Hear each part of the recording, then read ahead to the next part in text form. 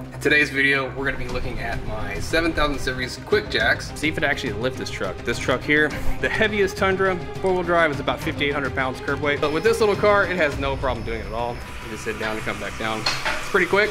The jacks are extremely heavy. Oh, this side over here, it actually has some wheels that are gonna help you move it and everything like that. I don't know how much they weigh, but they are crazy, crazy heavy. All right, so it comes with two different sizes of blocks. We're gonna try the blocks first, and then if that doesn't work, we're gonna go to the extensions. And you'll see why uh, we're gonna actually need to use these instead. You just get them, place them in there. All right, so I got everything in position, and all you gotta do is hit up.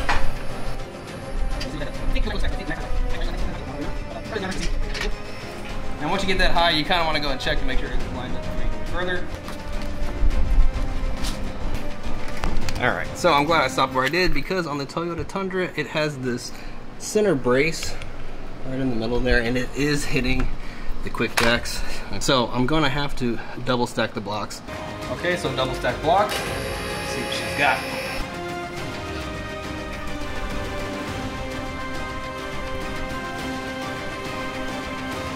All right, so the double blocks is high enough to get the tires off the ground, definitely, but it looks super sketchy back here that I don't recommend it, that you're gonna have to use the truck adapters, because this looks like it's about to fall over.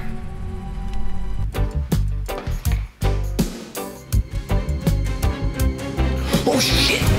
I'm pretty sure the truck is about to fall off the lip. Okay, okay, okay, gotta undo the safety locks and then lower it, lower it, go down. It's gotta go down, go faster, faster. Come on, come on, come on, come on. Go, go, go, go, go, go, go.